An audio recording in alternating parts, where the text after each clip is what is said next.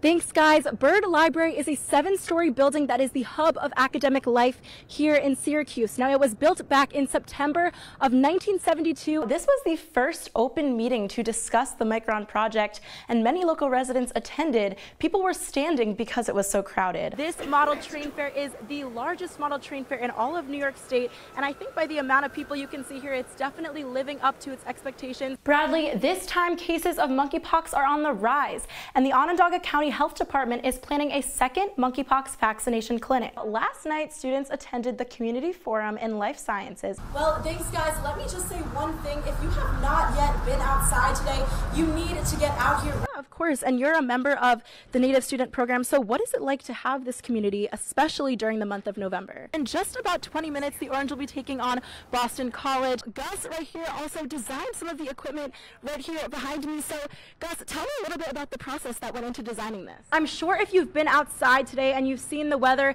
it's been a lot more cold and a lot more rainy than it normally has been. Now, today is the first day of fall, so we are going to be seeing those colder temperatures. But I'll see you guys back in studio. Let's Let's try this out. The VCT 2022 Game Changers Championship, which took place just last week, was the most viewed female Valorant tournament ever.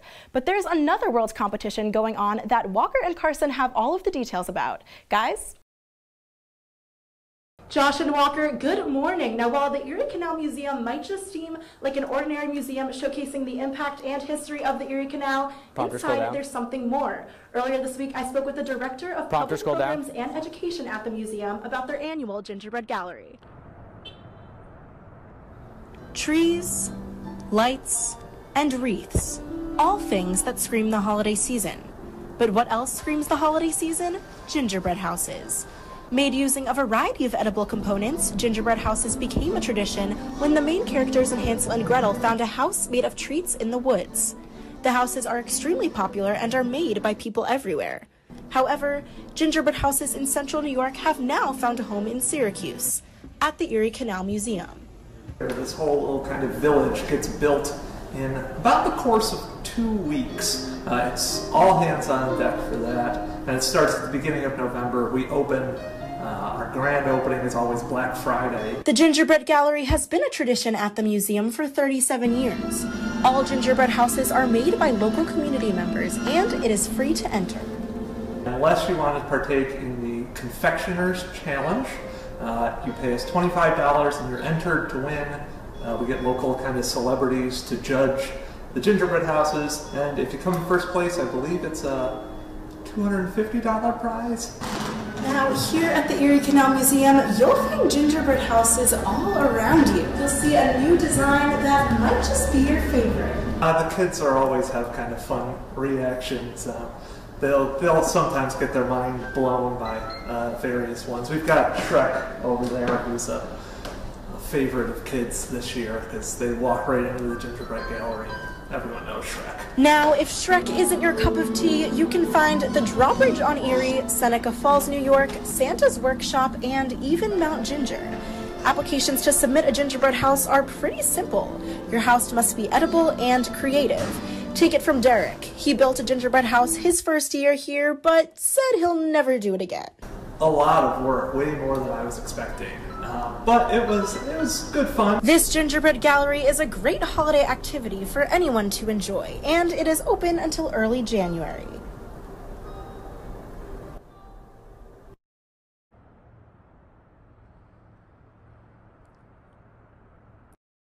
To submit an application for the exhibit this year, you always have until next year.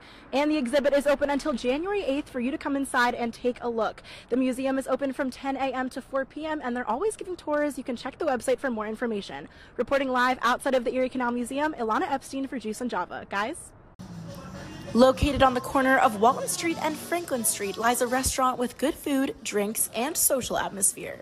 Since 2019, Margarita's Mexican Cantina has been open to the public. What was the perfect place to come for food with your friends will soon become more than just a restaurant. Restaurant owner Alejandro Gonzalez says he realized he needed to expand the space last year. We realized that we had a, very big wait times, so we decided to just get more seating, get an extra bar. The restaurant will be expanding to the open space next door and will be nearly doubling their seating. The restaurant will feature multiple bars, all new furniture and decor, special performances, a later curfew, and some dancing with a nightlife scene. Marketing and entertainment coordinator Sebastian Ramirez explained to me that Margaritas offers something that other restaurants It's don't. It's really more of a, I guess, I don't want to say vibe, but a vibe, and it's just a fun environment to be in rather than just sit down. Construction began a little over a year ago after the restaurant received permits from the city. While it's exciting to see the renovations come together, sometimes Very it's annoying to say the least, um, just because like right now we're see they're doing construction right behind me, in about two hours they're gonna have to stop doing construction. We have to move all the furniture, all the construction, clean up, because we're gonna need this side for seating. Although the renovations have been long, waitress Lena Gonzalez can't wait for the new addition. She loves seeing new customers dance. To see everybody moving their heads, even if they don't understand the songs.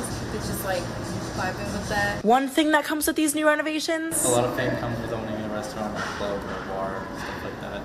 Uh, also a lot of stress, but you know I, I enjoy what I do. The staff at Margaritas are excited for new customers and a fun new space with shorter wait times.